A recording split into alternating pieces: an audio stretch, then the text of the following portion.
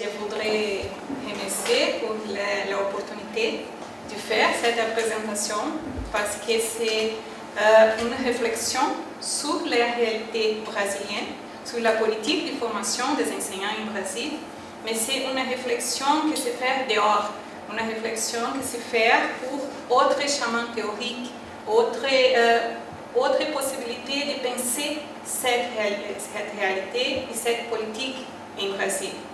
Je, vais remercier. Cette présentation, c'est le résultat de, de, de, mon travail ici, euh, ce séjour de, de post-doctorat. Et je vais intégrer euh, une réflexion que j'ai faite à la recherche de doctorat sur la formation des enseignants à partir, à considérer une perspective biographique de la formation des enseignants. Euh, D'avance, je m'excuse pour mon français. Ça, c'est un défi pour moi, mais je vais faire un grand effort pour parler les, les meilleurs que je, je, suis capable, je suis capable. Donc, cette euh, réflexion, c'est l'objet de la réflexion, c'est justement le système d'éducation. Et je vais parler sur la formation des professeurs dans ce système. C'est pour ça que j'ai défini comme point, de départ juste la réflexion sur euh, la praxis des enseignants pour comprendre et pour euh, proposer des alternatives pour cette formation. Pour penser la formation, je, euh, je pense qu'il y a une articulation entre la formation et la réalité de l'école.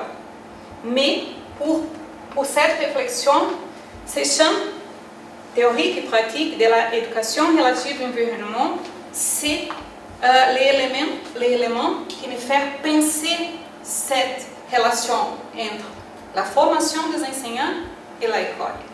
Que je pense que c'est une relation de deux directions, qu'il faut, euh, qu'il faut que penser un dialogue constant entre la formation, les institutions responsables pour la formation et la réalité de l'école. Euh, principalement les rôles sociaux de l'école et des, et professeurs dans l'école.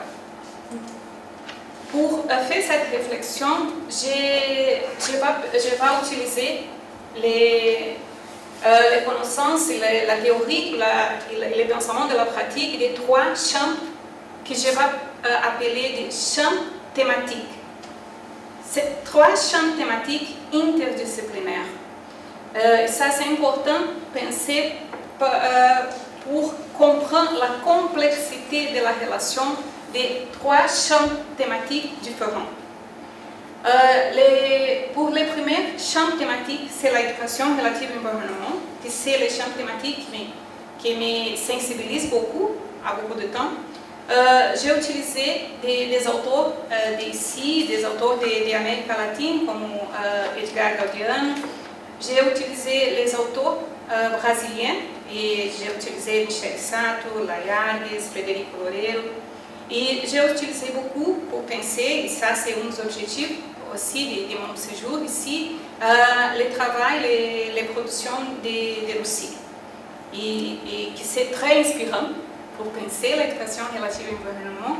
Et j'ai accompagné le, le travail de Lucie depuis les années 90 et c'est une longue production et une production très, très euh, madurée. Et, pour moi, c'est très important l'opportunité de lire les, les, articles, les livres aussi, mais de parler avec aussi sur ça. Euh, pour euh, comprendre les champs de la politique, euh, des politiques publiques euh, du Brésil, je vais utiliser des auteurs qui adoptent une perspective critique sur la politique parce qu'il y a beaucoup de, des auteurs qui font seulement une description de la politique. Ce n'est pas l'objectif de, euh, de, parler seulement de la description. Je, je, voudrais parler de la description, mais je voudrais euh, parler sur euh, les, les, problèmes qu'il y a aussi dans la politique publique en Brésil.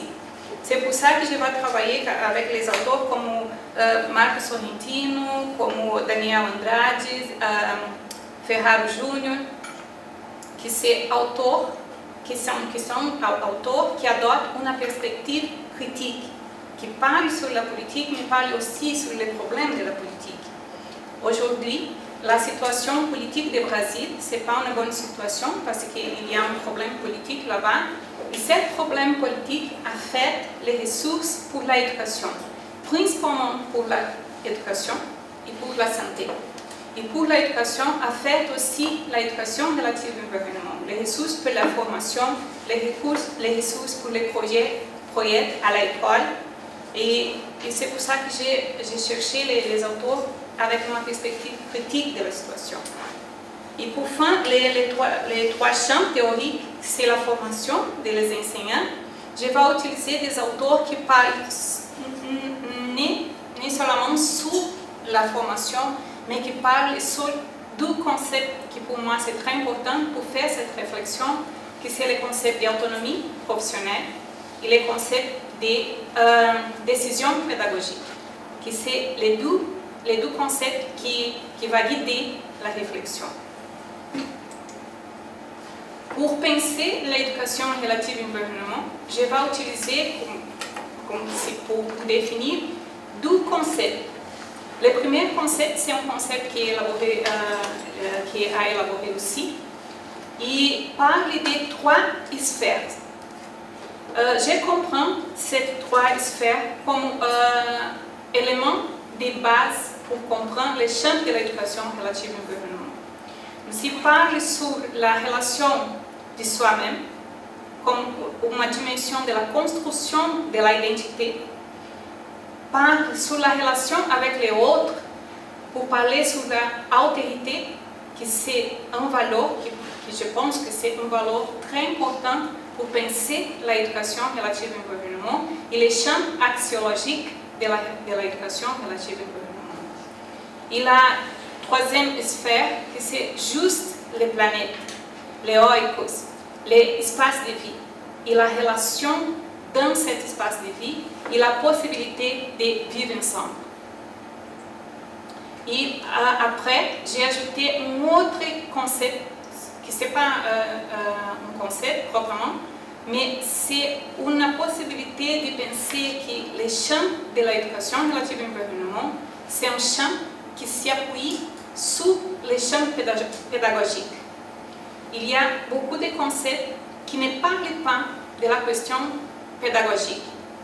Pour moi, pour parler d'éducation, quelque euh, sorte d'éducation, il faut parler de la dimension pédagogique du, processus. C'est pour ça que j'utilise cette réflexion de Frederico Loureiro, qui est un, un, un chercheur brésilien. Pour penser la, la, réalité de la formation des enseignants, j'ai euh, utilisé cette année la, revue de, de, de l'Université de Montréal, du groupe CRIFP, faire une publication, un bilan des de dernières années de formation des enseignants ici au Québec. C'est un document très intéressant, c'est un document qui fait une analyse de la réalité et qui nous, nous fait penser à les limites, à les problématiques de la formation des enseignants.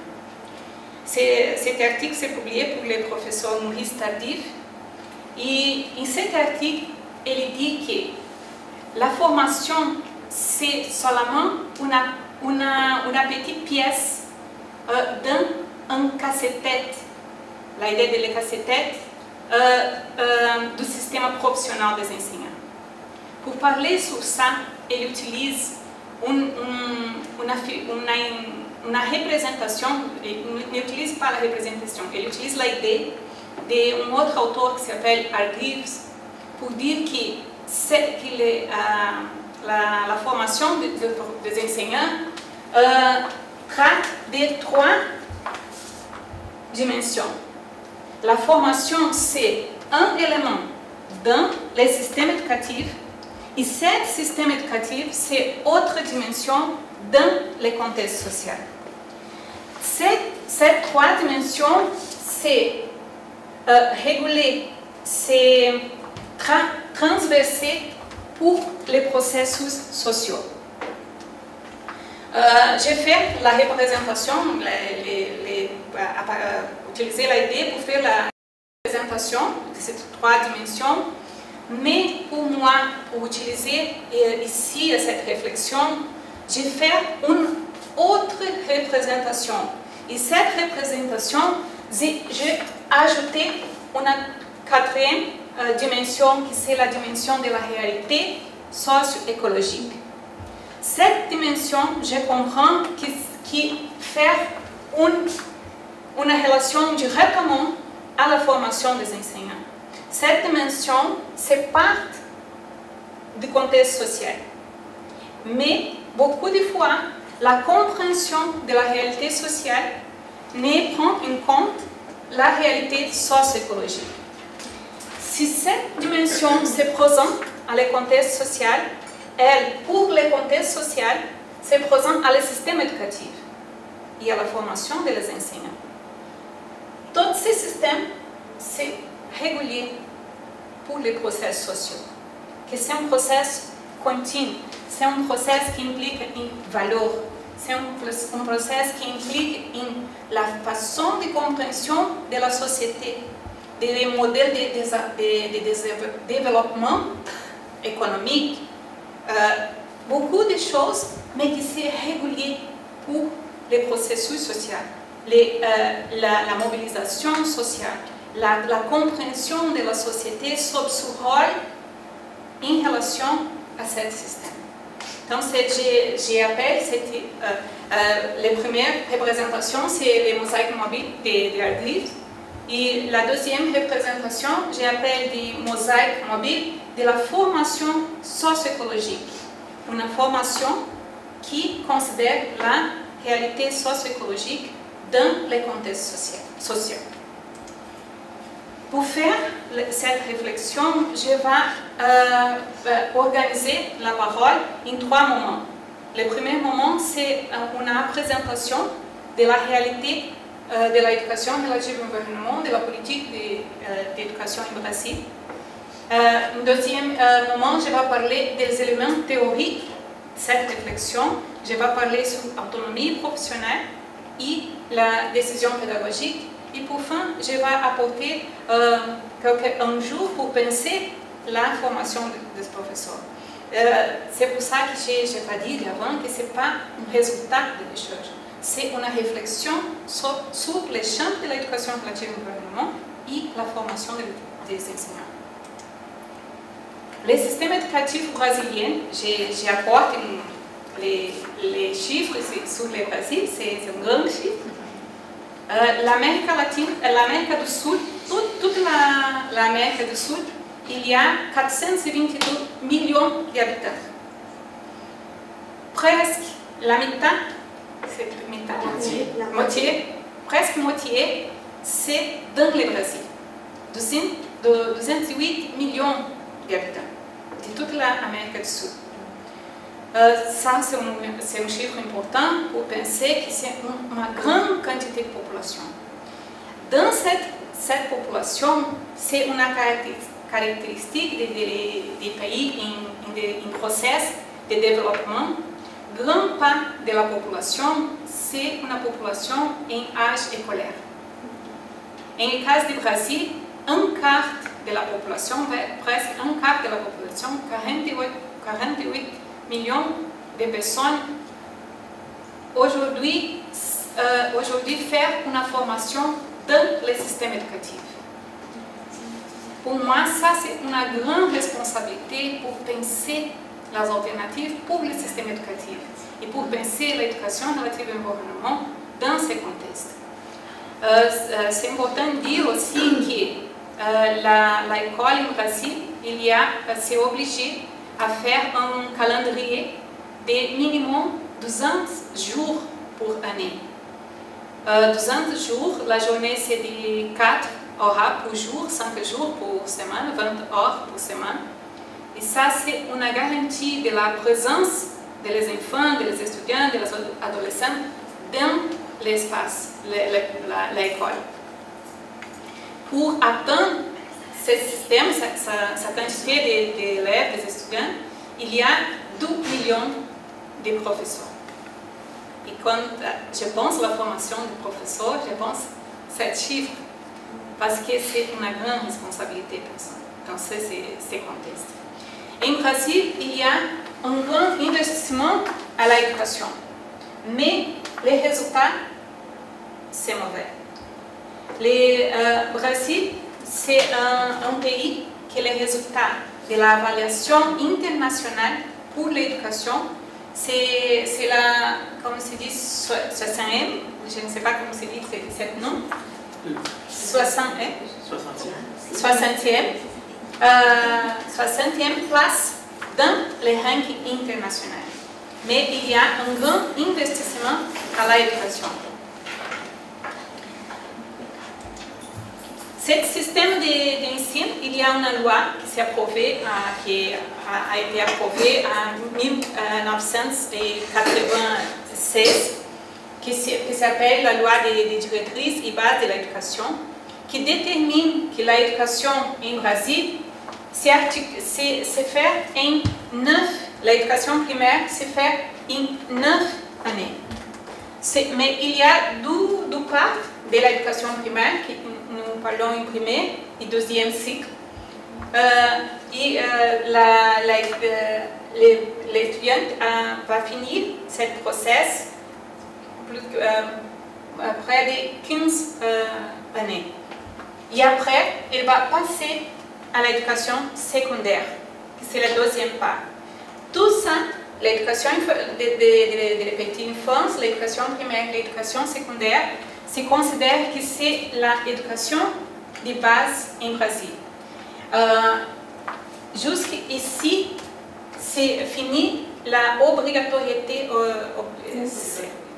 euh, presque ici, euh, la famille s'est obligée à, faire la formation des, enseignants. Et sinon, ici, il y a une dimension de la formation professionnelle.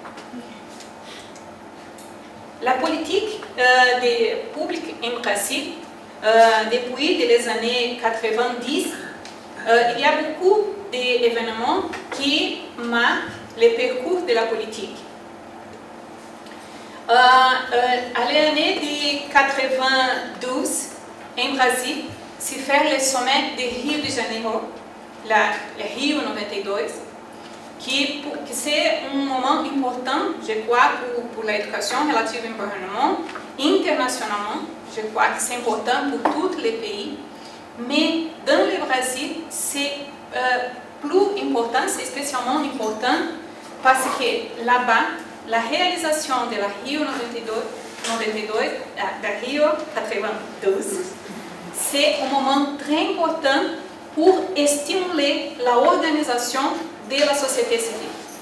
Cette année, en Brésil, c'est faire la, constitution de la réseau brésilien d'éducation relative à l'environnement. C'est une réseau, une réseau qui euh, aujourd'hui c'est très active, c'est une réseau qui est importante pour faire la consultation à la politique publique, pour faire la organisation, la mobilisation de la communauté, de la communauté civile pour euh, donner des, contributions à la politique euh, publique en relation à l'éducation relative au gouvernement.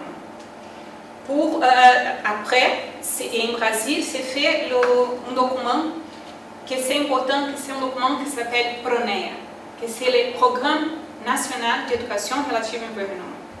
Ce programme, c'est un document très, très c'est un gros document qui parle sur la formation en tous les niveaux euh, professionnels. Parle sur la formation euh, et la possibilité de donner la formation à la population.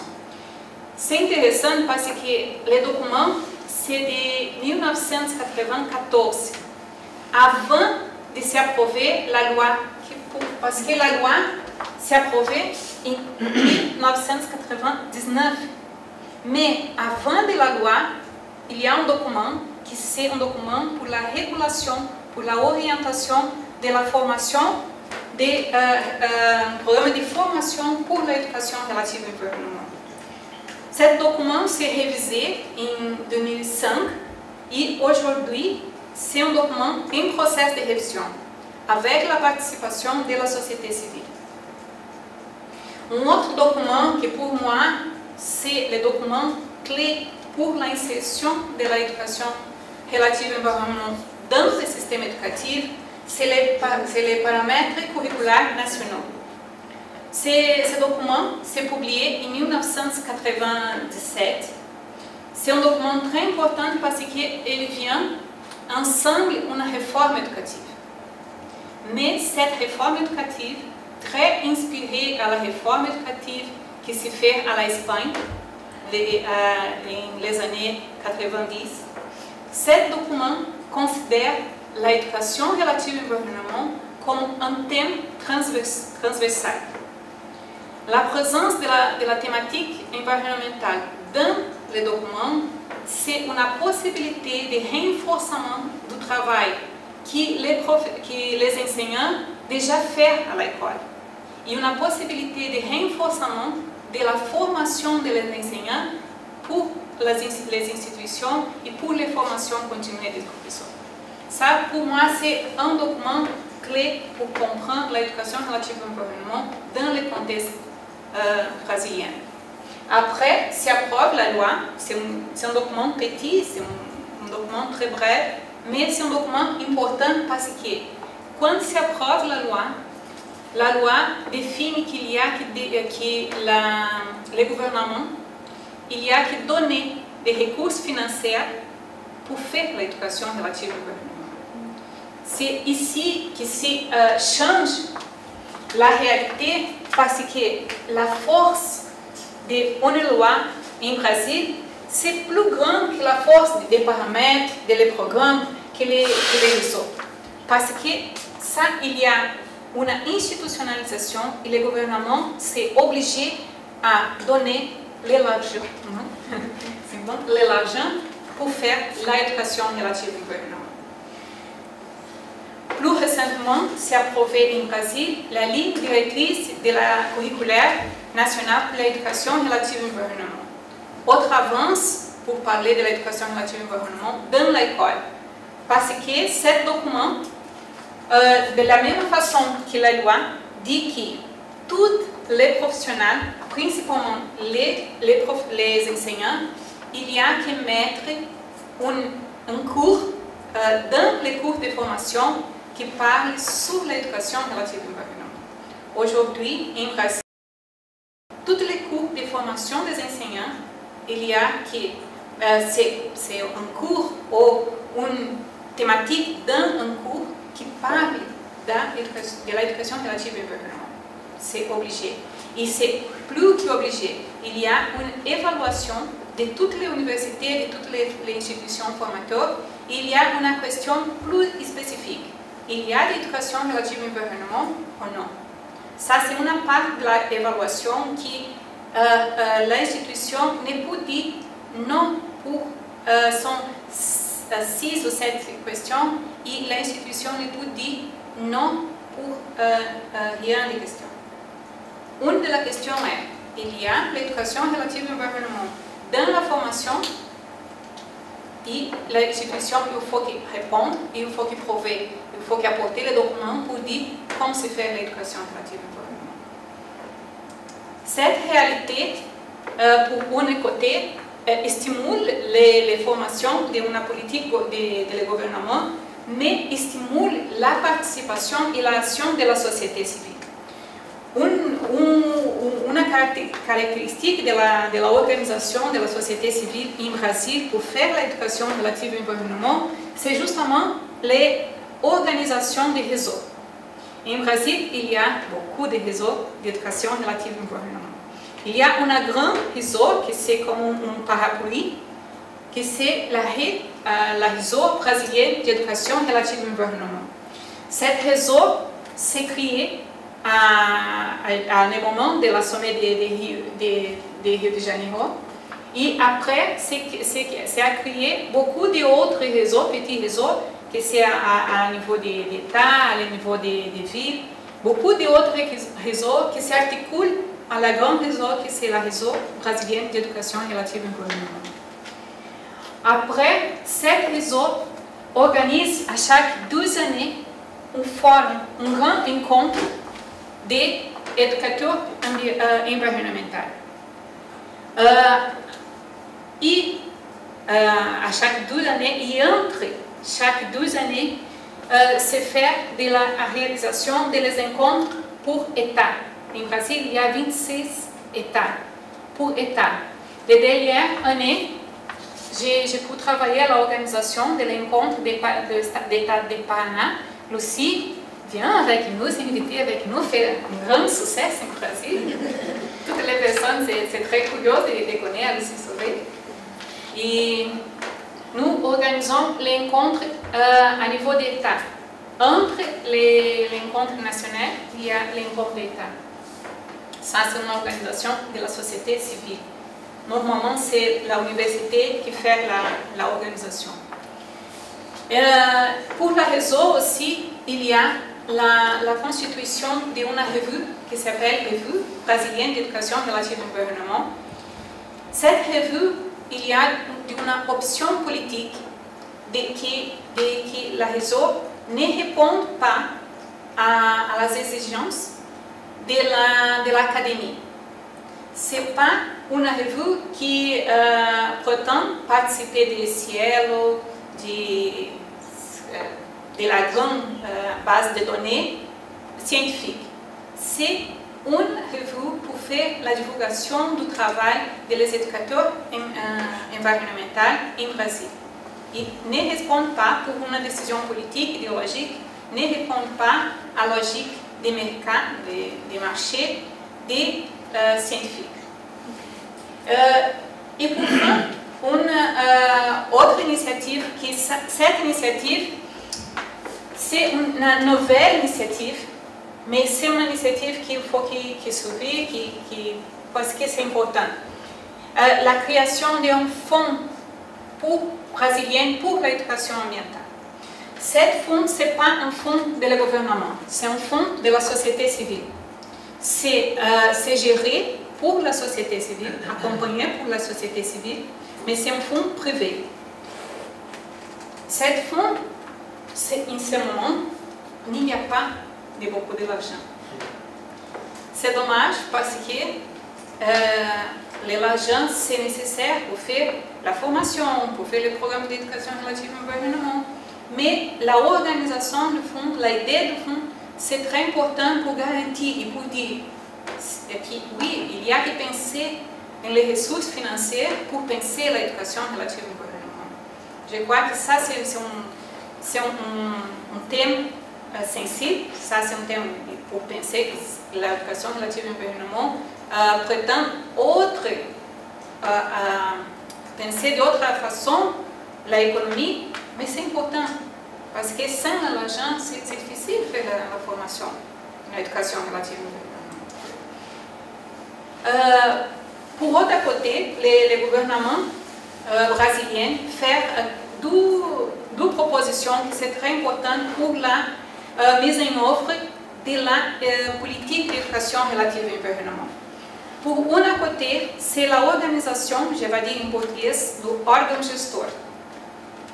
Qu'est-ce que c'est l'organe gestor? C'est une articulation entre le ministère de l'Éducation et le ministère de de, de l'Environnement. Cet órgão gestor, il y a de la représentation des deux ministères, mais il y a de la représentation de la société civile. De la société civile, de las de, de universités, il y a beaucoup d'institutions, la, la réseau d'éducation relative à l'environnement, le système d'éducation, beaucoup d'institutions qui participent de, de, cette, de cette institution. Et qu'est-ce que c'est plus important? C'est que l'organe gestor, c'est une institution avec la garantie de la loi. C'est déterminé pour la loi. Même qui change le gouvernement en Brésil, l'organe gestor continue parce que ce n'est pas une politique de gouvernement, c'est une politique d'État c'est dans la loi. Parce que c'est très important d'approuver quelque chose dans la loi. Parce qu'il garant qu'il change le gouvernement, mais continue la politique. Ça, c'est un, un, problème qui, qui a fait à beaucoup de pays. Quand change le gouvernement, change toute la politique. Mais la loi ne permet pas. La loi, c'est une, une chose qui transcende le gouvernement. Et après, que c'est autre institution dans la loi, c'est la constitution des, que nous, nous chamons en français qui sont les comités euh, municipaux et étatoires pour euh, euh, élaborer et faire la mise en œuvre de la politique d'éducation relative à l'environnement, la politique nationale d'éducation relative à l'environnement. En ce moment, en Brésil, la dernière semaine, c'est fait, c'est approuvé les, les politiques estaduales du Estado de São Paulo d'éducation relative à l'environnement. C'est les, São Paulo, c'est l'unique État du Brésil qui n'y a pas de loi estaduale. Et en Brésil, l'Estado de São Paulo, c'est l'État plus populeux, c'est l'État plus important économiquement. Et pour nous qui travaillons avec l'éducation ambientale la, semaine dernière, nous sommes très heureux avec la, nouvelle parce que maintenant, tout l'État du Brésil, il y a une loi estaduale d'éducation relative à l'environnement. Cette loi s'est élaborée pour les CIER, qui c'est une organisation de la société civile avec le gouvernement pour faire la pour faire la loi et pour accompagner, pour faire la mise en œuvre, pour, faire la dynamisation de la, de la loi et faire aussi la gestion des ressources financières de l'éducation relative au gouvernement. Euh, je, je, présente trois euh, projets, euh, propositions du gouvernement fédéral du Brésil pour faire la, pour insérer l'éducation relative au gouvernement dans le système éducatif. La première, c'est en Brésil, s'appelle euh, école, euh, sustentáveis, mais ici la traduction de la sustentabilité c'est différent. C'est pour ça que, que me dit euh, que c'est mieux utiliser l'école verte, l'idée de l'école verte. Mais c'est l'idée de faire une école qui, euh, avec les principes de l'éducation relative au environnement. Pour ce programme, il y a une, ressource financière pour l'école, pour toute l'école, mais cette ressource, cette ressource financière, ce n'est pas pour la formation. C'est une ressource pour la gestion. C'est pour faire, euh, par exemple, ici, une école avec l'utilisation de l'énergie solaire, pour faire euh, des, des la horte, des jardins, jardin, partager le jardin en l'école, euh, pour faire les euh, un travail d'utilisation de, de, de l'eau, de l'énergie euh, électrique, mais ce n'est pas pour la formation. Ça, c'est une limite de ce programme. Un deuxième programme, c'est l'institution, et ça c'est intéressant, pour chaque école, faire la constitution d'un groupe de personnes, des enseignants, des élèves, des étudiants, des parents des étudiants, pour faire l'organisation de la proposition de l'éducation relative à l'environnement dans l'école. Ce programme s'appelle Convida, qui, qui, euh, qui traite d'organiser chaque école, ça c'est une école, autre école, chaque école organise son groupe et, et dynamise son groupe. Et euh, faire la gestion des ressources de, de l'école verte.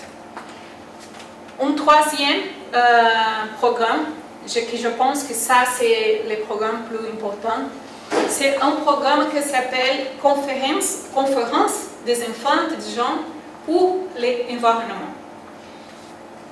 J'ai un projet en Brésil pour faire les recherches de cette édition de la conférence parce qu'en 2013, c'est la plus grande conférence qui s'est réalisée en Brésil. Pour cette conférence, c'est l'école a proposé 16 000 projets d'éducation relative à l'environnement. 16 000. 16 000. 16 000. 16 000. 16, 16 000, 16 000 projets d'éducation relative à l'environnement. C'est beaucoup. C'est vraiment beaucoup.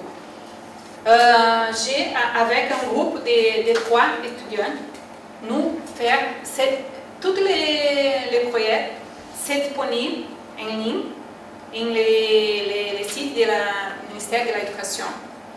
Comme en il y a un mouvement de changement de le gouvernement, j'ai euh, avec trois bons étudiants, avec beaucoup de persévérance, nous faire les downloads de tous les projets, 16 000 projets, pour faire une base de données pour analyser les caractéristiques de ce projet. Ce n'est pas un travail facile. la, la quantité, c'est une grande quantité. Et, et, la, et, et, et ce moment, faire la base de, données, mais il faut que faire l'analyse de la base de données. C'est un, un, travail que je vais faire quand retourne à Brésil avec un autre groupe d'étudiants parce que c'est un travail que c'est impossible pour un, un, une personne faire. C'est une base de données très très grande. Mais c'est intéressant d'analyser comment l'école fait l'éducation relative à l'environnement, comment l'école comprend l'éducation relative à l'environnement, qui, qui façon, qui, sorte de propositions les, les, enseignants faire pour dérouler l'éducation relative à l'environnement dans ces classes de travail. Donc, ce sont euh, trois perspectives, trois propositions, mais c'est trois propositions du gouvernement euh, fédéral et avec les financiations, le gouvernement fédéral. Ce moment, c'est faire la, cinquième édition de la conférence. Le, le thème central, c'est justement les loups. Et c'est ce moment, c'est faire la réalisation. Euh, comme je, parle ici sur la formation des enseignants, j'ai cherché euh, à, le document, que c'est un document plus récent, c'est la, la, ligne directrice curriculaire nationale pour l'éducation ambientale, les objectifs de ce document. Pour un côté, à l'objectif 3 et 4, il y a une, proposition de, de, guider la formation, guider la formation dans les institutions formateurs et pour votre côté, de guider la formation dans l'école. Et c'est l'objectif 3 et 4. Euh, pour ça, et ça euh, appelle l'attention, le document dit qu'il faut intégrer autre méthodologie et la perspective interdisciplinaire dans l'école. La perspective interdisciplinaire, interdisciplinaire c'est une condition différente de la condition des paramètres euh, curriculaires nationaux qui parlent de la transversalité. Mais la transversalité se présente aussi à la, à. Et je vais parler après sur la relation de la transversalité et de l'interdisciplinarité dans l'école. Ça, c'est les trois modèles. Euh, la, la, réforme éducative du Brésil s'est inspirée à la réforme éducative espagnole. À l'Espagne, avant de la réforme éducative, il y a un grand moment de discussion. C'est une discussion, le, document de discussion s'appelle les, livres blanches. Les livres pour tous les thèmes, pour les, pour, pour les linguages, pour les mathématiques, pour les sciences et pour l'éducation relative au gouvernement. Quand se fait la proposition d'une discussion pour les livres blanches, la discussion c'est pour trois alternatives d'insertion de l'éducation relative au gouvernement dans les curriculum écolaires. La transversalité, la interdisciplinarité et la multidisciplinarité. Pour fin, la décision, c'est pour la transversalité. Les thèmes environnementaux, c'est un thème avec autres thèmes, autres thèmes, autres thèmes dans les curriculum scolaires. La, les concepts de transversalité, je pense que c'est un concept du point de vue euh, d'une situation idéale. Euh, c'est très positif. Théoriquement, je crois que c'est une, alternative très positive. Mais pour les façons de la pratique des enseignants, je, je trouve, je, je trouve, et beaucoup d'autres autres chercheurs trouvent beaucoup de difficultés pour la compréhension des concepts pour les, enseignants et beaucoup de difficultés pour faire l'action transversale dans les curriculums. Pour beaucoup de problèmes que nous pourrons parler après, mais, c'est une chose qu'il faut que, que, je pense qu'il faut penser mieux, c'est la unique alternative pour l'école. Ce n'est pas l'unique alternative. Il faut que penser autre possibilité. Je ne sais pas, je, ne sais pas qui autre, euh, il y a des réponses, mais comme possibilité d'alternative, je pense que la pédagogie du projet, c'est à la pratique de l'école, c'est l'alternative que les enseignants plus utilisent. Il y a aussi, j'ai cherché autre, autre rapport théorique, la pédagogie de la résistance. La pédagogie de la résistance, ce n'est pas une, une, une pédagogie avec une structure méthodologique claire. Mais il y a une possibilité de penser à l'école, de penser à l'action sociale avec autre perspective théorique. Et mettre cette perspective dans la formation des enseignants et dans de l'école. La participation, la mobilisation sociale, la, les, dialogues des savoirs, il y a beaucoup de choses de, la, de cette perspective de la résistance que nous pouvons penser comme apport pour penser l'éducation relative au dans l'école. Bon, ce n'est pas un contexte euh, simple, il y a euh, beaucoup d'éléments que c'est pour penser. Les, petits sphères, c'est éléments que nous pouvons penser en relation à ce contexte. Mais pour centrer la réflexion, euh, je pense que avec cette réalité, qu'est-ce que, qu'est-ce que sont les enjeux pour la formation? Et j'ai toujours travaillé ensemble la formation et l'action des enseignants dans le système éducatif. Qu'est-ce que, que, que nous, nous devons penser pour réfléchir sur cette réalité Et pour penser ça, euh, j'ai fait une, recherche théorique sur cette question. Je pense qu'un élément, un concept important pour penser la formation et l'action des professeurs, c'est justement le concept d'autonomie professionnelle. Euh, je sais que les concepts permis de penser pour euh, différentes, euh, différentes perspectives cette formation. Mais je vais utiliser des auteurs qui permettent de penser l'autonomie d'une perspective plus, que je considère plus constructive. Plus constructive socialement, plus constructive des conduites de la communauté écolaire. Euh, pour Paulo Freire, l'autonomie, Paulo Freire a écrit un livre qui s'appelle la, la, justement la pédagogie de l'autonomie. Pour Paulo Freire, l'autonomie, c'est un élément de constitution d'une éducation pour, la liberté.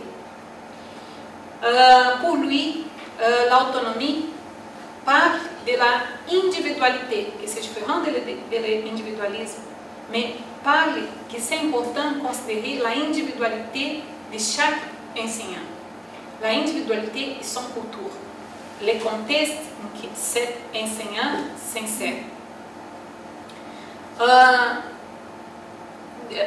pour même chemin de, de Paulo Freire, je vais utiliser un autre auteur qui c'est Henri Giroux, qui parle, qui, euh, pour les, euh, qui considère que les enseignants et je crois que ça, c'est un élément très important pour penser l'autonomie, qui sont intellectuels.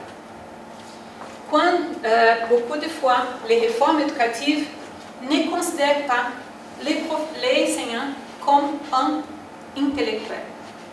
Quelqu'un qui a de la possibilité de penser son pratique, d'interpréter son réalité, de faire, de, constru, de construire son, connaissance.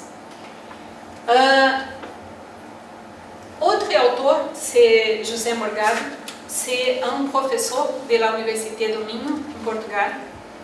Il fait beaucoup de recherches sur la, question de l'autonomie.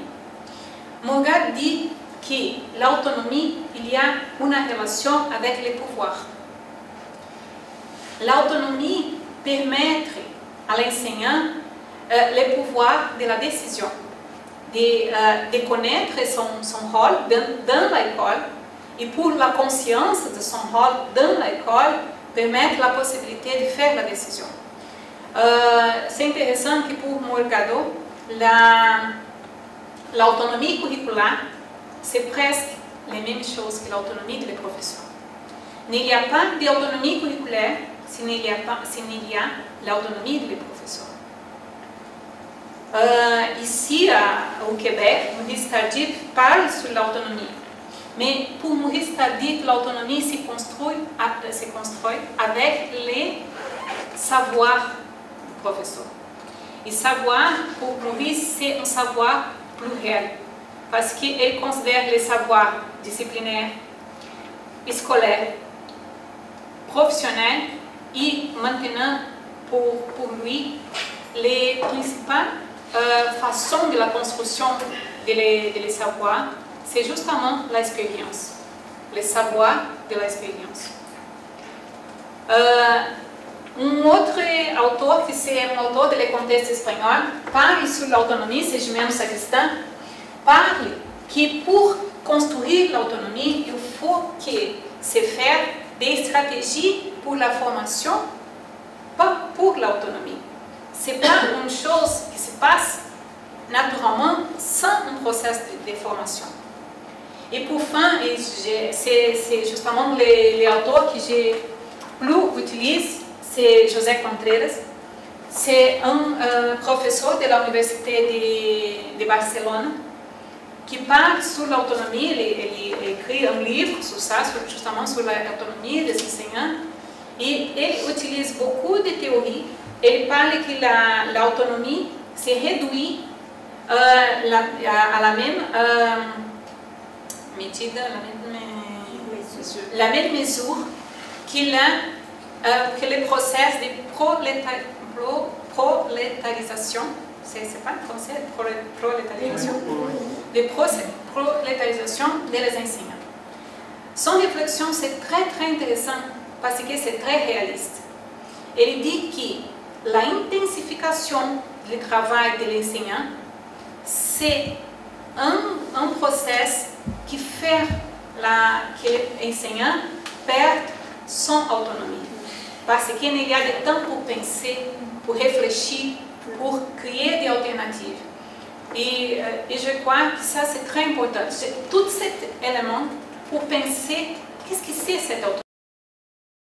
Et beaucoup de fois, parce que c'est un terme très polysémique, euh, beaucoup de fois s'interprète l'autonomie d'une autre façon. Le langage se, se directement avec le pouvoir. Et beaucoup de fois, s'utilise la langage pour utiliser un terme de autre forme. C'est pour ça que je, euh, que je, que je vais parler de, cette expression que je n'utilise, que je ne considère ce n'est pas le concept d'autonomie. Par exemple, l'idée de l'indépendance. L'autonomie, c'est juste la capacité d'interagir en interdépendance avec le dialogue, avec les relations avec l'autre, comme dit Lucie, ce concept d'éducation relative Ce n'est pas un processus qui, pour manquer de la responsabilité collective. Euh, c'est important de que la, la profession des enseignants, c'est une profession de travail collectif.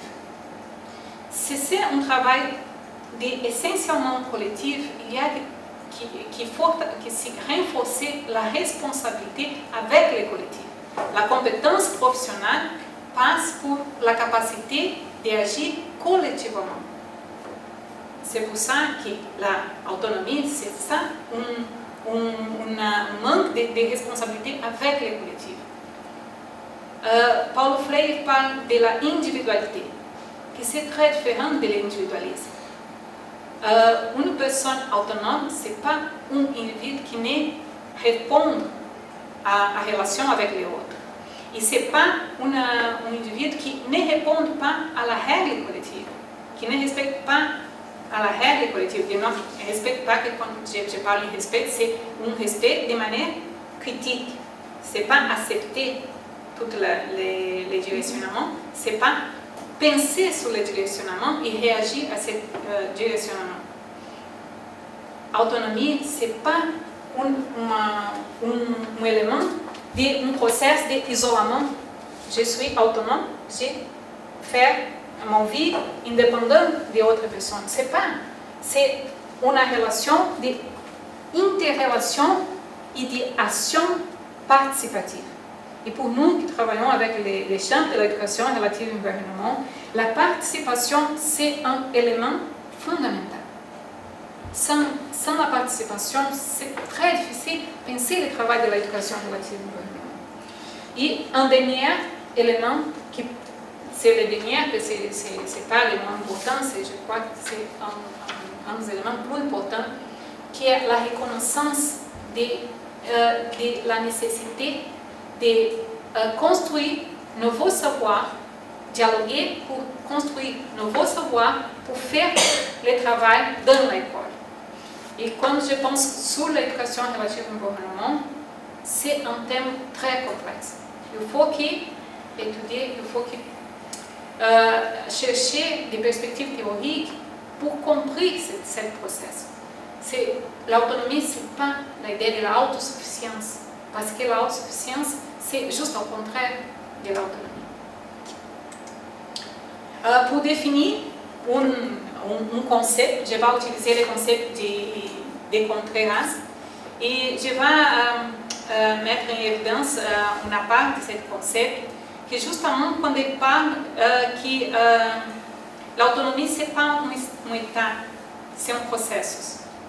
C'est un, un processus continu de découverte et de transformation. Uh, e quando ele, ele parle de la transformation, il ne parle seulement de la transformation de la personne, il parle de la transformation sociale. L'autonomie, c'est pas seulement un élément de l'école, c'est só un élément professionnel. L'autonomie, c'est un élément aussi de transformation sociale. Uh, je vais ajouter à, à, le concept de Contreras une perspective d'un autre auteur qui s'appelle Martinez, qui uh, introdu, introduit autre concept à le concept d'autonomie, qui c'est le concept de décision pédagogique. Il dit que pour l'autonomie, le sujet est capable de faire la décision en champ pédagogique. Que l'autonomie touche la personne a identité, a identité professionnelle de la personne et la représentation de lui-même. Ici, c'est la logique de la, de la réflexion. Si l'autonomie, c'est un élément fondamental pour comprendre la enseignants, c'est l'élément qui permet la, prise de décision à l'échange pédagogique.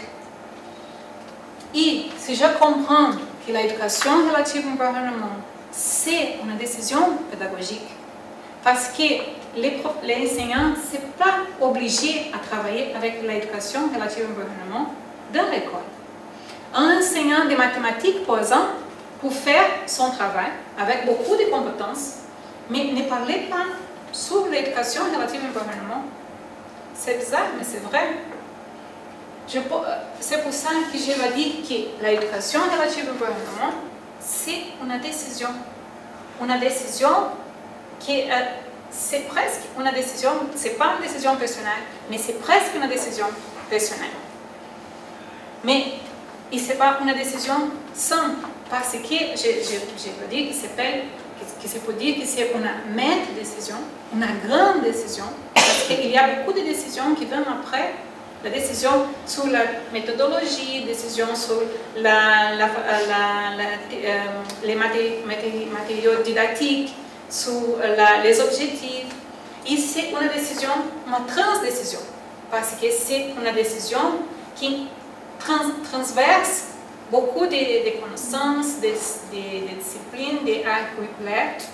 Et pour illustrer cette structure, j'utilise une structure que j'ai utilisée dans mon recherche de doctorat, qui c'est la structure de la décision pédagogique, qui s'est influenciée pour circonstances biographiques internes de la personne et circonstances contextuelles. Si cette structure se définit pour éléments qui sont internes, qui sont éléments biographiques, avec l'intégration les éléments internes contextuels, euh, je peux dire que l'histoire de vie, c'est la, thèse de, doctorat, c'est la méthodologie, c'est justement l'histoire de vie. Pour comprendre comment tous les éléments de l'histoire de, vie des enseignants pour faire une relation avec les structures externes, les contextes scolaires, les contextes sociaux, macro et micro structures. Ça, c'est euh, les éléments pour penser que la décision pédagogique, c'est un processus très complexe, mais c'est un processus très très important pour l'éducation relative au gouvernement. Si nous pensons que l'éducation relative au gouvernement, c'est une décision pédagogique, les professeurs ne sont pas obligés à faire l'éducation relative au gouvernement, à, renforcer la dimension environnementale dans son travail. Mais pour faire, il faut qu'il prenne des décisions avec son autonomie, avec son connaissance, avec sa compétence. Et si je pense cette, cette, cette cadre théorique, comme l'autonomie, des, enseignants pour euh, l'autonomie des enseignants est prise de compte pour la politique éducative publique. Cet élément, c'est considéré pour la politique publique comme la politique publique traite de la question de l'autonomie de l'autonomie des, professeurs. Ici, au Québec, je, sais que l'autonomie, c'est un, un, thème très important pour les syndicats des professeurs, parce que euh, c'est une conquête, c'est une lutte. Mais la politique euh, publique, ni, ni, ni toujours, euh, pense pour cette façon. J'ai cherché un document, c'est un document qui s'est élaboré aux États-Unis après la réforme éducative, pour comprendre la réforme éducative. C'est un, un glossaire, un glossaire de, de, la, de, la, réforme éducative.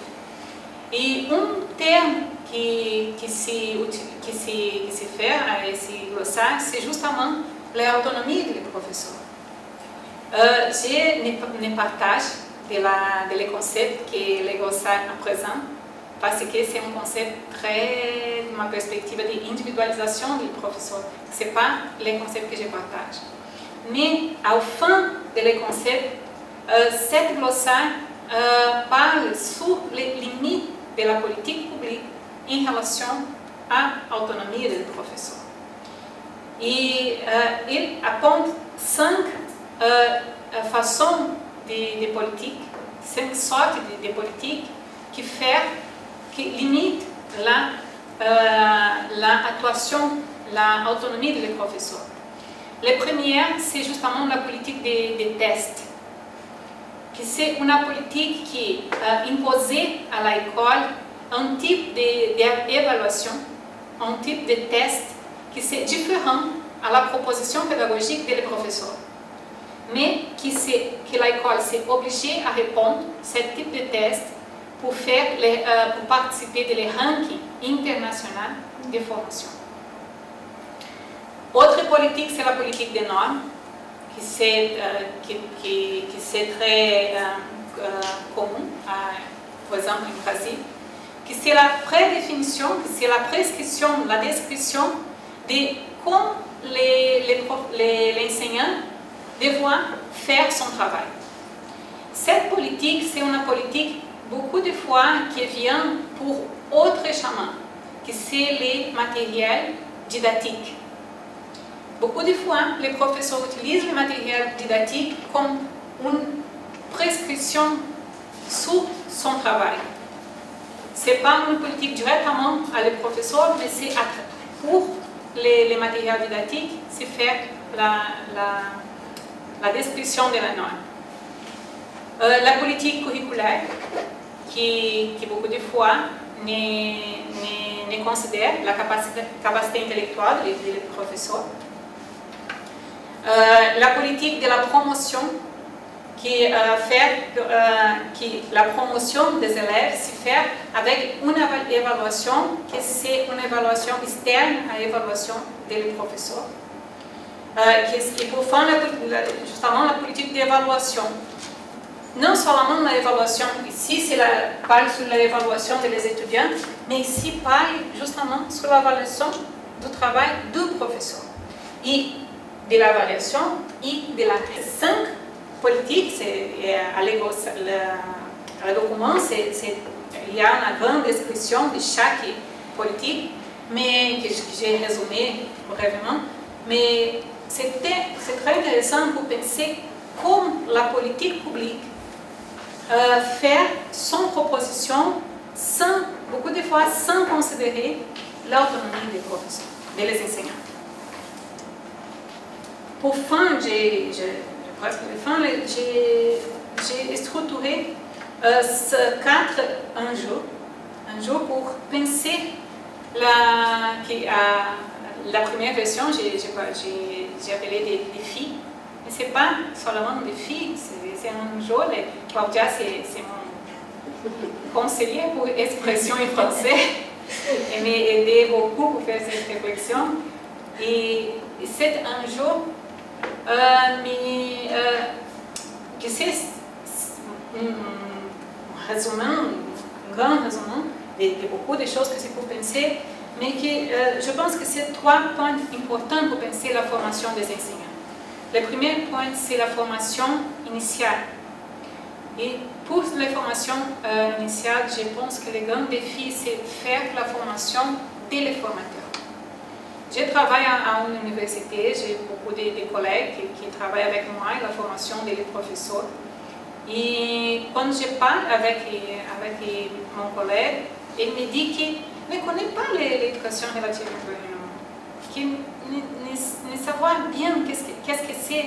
Elle pense que c'est quelque chose qui parle de la nature, naturalisme, la, nature, des de animaux, de, de, la forêt, mais ne comprend pas qu'est-ce que c'est l'éducation relative au Et même dans les champs de l'éducation relative au environnement, il y a beaucoup de, courants, et Lucie parle très bien sur ça, il y a beaucoup de courants d'interprétation de qu'est-ce que c'est l'éducation relative au environnement. Dans l'université, euh, la majorité des fois, ce thème se traite dans la biologie. Et les professeurs qui font la formation des enseignants utilisent une perspective de la biologie pour parler de l'éducation relative à l'environnement. Je pense que ce moment, l'éducation relative à l'environnement, c'est notre, c'est beaucoup d'autres champs de la sociologie principalement. Pour penser la, la mobilisation de la, de, de, de, la population, de la communauté, pour penser le concept de, la éco-citoyenneté, mais euh, et moins, et chaque, chaque fois moins, les utilise les apports de la, de la biologie les, en le sens strict de la biologie. Mais la formation des enseignants se fait beaucoup de fois pour les professeurs des champs de la biologie. En, Brésil, c'est la réalité. Et c'est une réalité très dure, parce que j'ai vu à mon université que la formation pour l'éducation relative au gouvernement, c'est une préparation pour faire les jardins à l'école. Et c'est résumer faire les jardins à l'école, ou pour faire la séparation des déchets. Ce n'est pas l'éducation relative au gouvernement, mais c'est la réalité de l'école. Et si c'est la réalité de l'école, et penser l'articulation que je présente à, la première partie de la présentation, si c'est la réalité de l'école, il faut que dialoguer avec cette réalité pour faire la formation des enseignants. Parce que c'est la, façon que les professeurs comprennent l'éducation quotidienne. Mais je crois qu'il faut faire un, un renforcement de la formation des formateurs. Autre, autre question importante, je crois que c'est l'idée de la transversalité. C'est mon opinion personnelle, je crois que la transversalité, ce n'est pas la unique alternative. Pour c'est la unique alternative. C'est une alternative. C'est l'alternative qui se, trouve à la politique publique. Et je crois qu'il y a euh, derrière de, de, de la idée de transversalité une accommodation de la politique. Parce que l'idée de la transversalité ne change rien de la pratique de l'école. Il y a un professeur pour faire, il y un enseignant pour faire le travail de l'éducation relative environnementale. Il y a une formation des enseignants pour faire l'éducation relative environnementale. Il y a un temps curriculaire pour faire l'éducation relative environnementale. Et pour le gouvernement, c'est une alternative très, euh, avec bon prix c'est très pratique parce que la transversalité, c'est une demande de travail à les professeurs. Et je crois que c'est une demande de travail à les professeurs qui euh, fait que les professeurs, euh, qui provoque à les professeurs un sentiment d'impotence, d'impotence, d'impuissance, d'impuissance, parce qu'il dit c'est moi qui ne suis pas compétent pour faire. Et je crois qu'il faut que penser cette réalité, parce qu'il y a qui faire des responsabilités avec la formation. Pour autre côté, c'est la formation continue. Et euh, ça, c'est les, les, euh, dernières bilans de, la formation des professeurs qui fait l'écrit qui est publié Maurice Tardif. Il parle justement de l'importance du savoir, de l'expérience. Em sua recherche, ele, ele uh, parle des résultats de la recherche pour les, les dernières années et toujours la réponse c'est la formation, et il dit ici à la congrès de KFB, toujours la formation, toujours la formation, les, prof, les enseignants disent que la formation plus importante, c'est justement à le moment de rentrer à l'école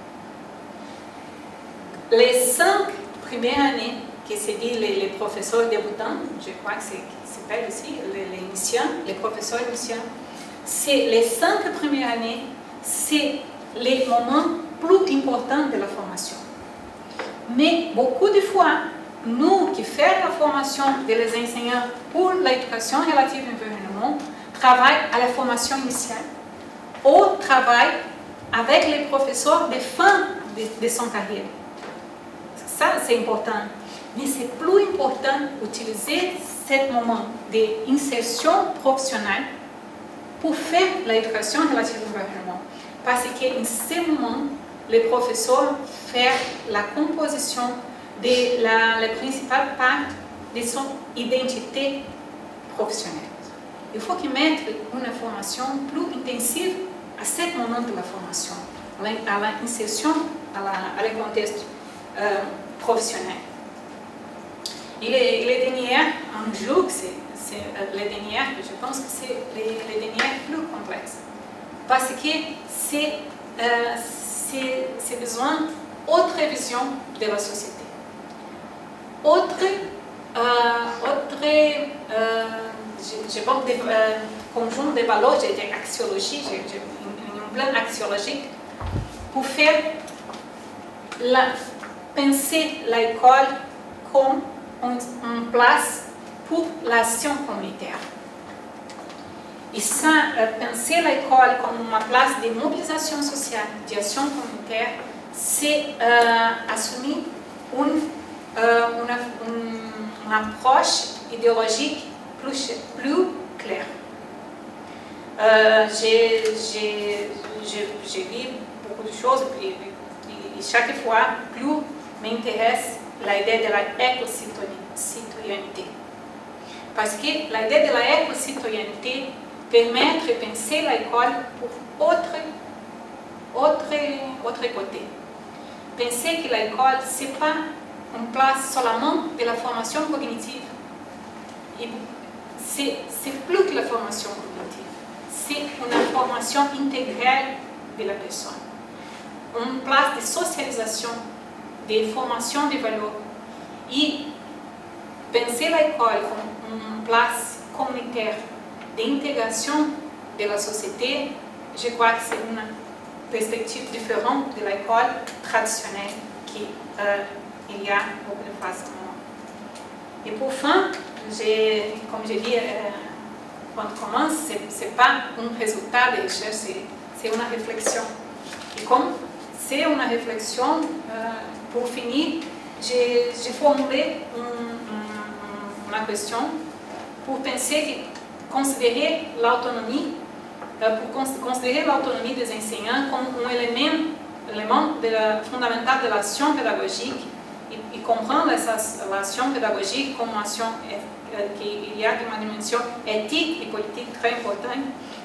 Et la prise de décision en éducation relative au gouvernement euh, pourra-t-il être un moyen pour repenser, de repenser le processus d'insertion de l'éducation relative au gouvernement dans l'école, cet élément pour aider à repenser l'éducation relative au gouvernement dans le contexte scolaire.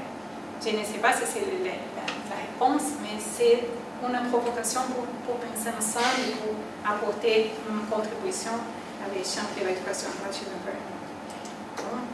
Obrigada. Inicia tudo lá